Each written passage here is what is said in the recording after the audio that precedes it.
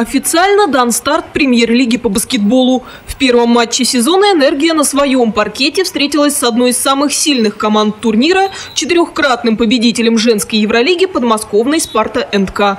Зрительский сектор оказался тесноват для болельщиков, пришедших поболеть за наш клуб.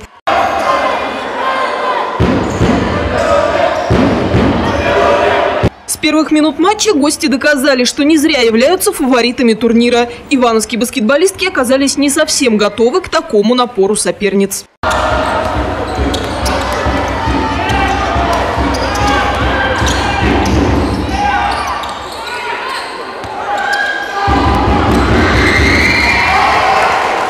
Первый период закончился со счетом 8-26, не в нашу пользу. Вторая и третья десятиминутки также остались за гостями. Во время последнего периода чудо тоже не произошло, хотя разрыв в счете немного сократился.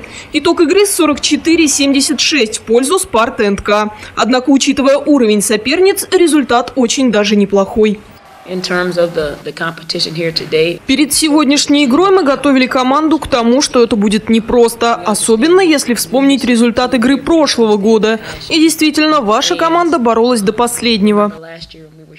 Было нам играть очень тяжело против такого уровня команды, которая использовала все наши слабые места. То есть игру слабую, игру под кольцом, более сильную – более сильные, имели более сильных игроков под кольцом, очень великолепно играли э, пик-н-роллы, к которым мы так и не приспособились, только во второй половине, более-менее добавив агрессивности и чуть-чуть в голове сыграв то, что э, мы должны были сыграть, чему мы готовились, где-то начало получаться. В следующем матче наш противник не менее серьезный. Многократный чемпион России Екатеринбургский УГМК. Матч состоится 22 октября в Екатеринбурге.